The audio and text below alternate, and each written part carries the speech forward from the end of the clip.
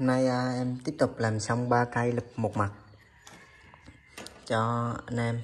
Một anh ở à, Sài Gòn một anh ở Đồng Nai và một anh ở Tây Ninh.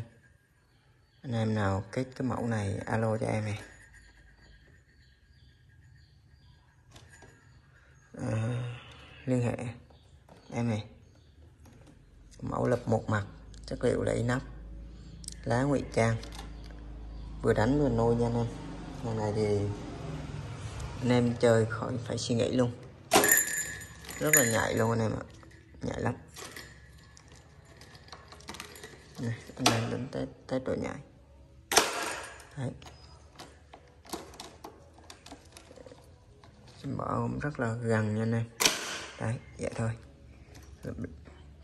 Chim sập thì không xảy nha anh em. Tại vì em làm cái túi lưới này nè. Nó có độ thùng nè.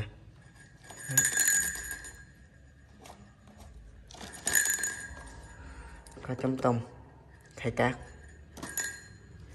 Khay cát em làm bằng tôn dày lắm anh em ạ. Chứ không phải em làm tôn mỏng đâu. Nên là anh em cần liên hệ nha. Mẫu này. Xong rồi. Rồi, chào anh em nha.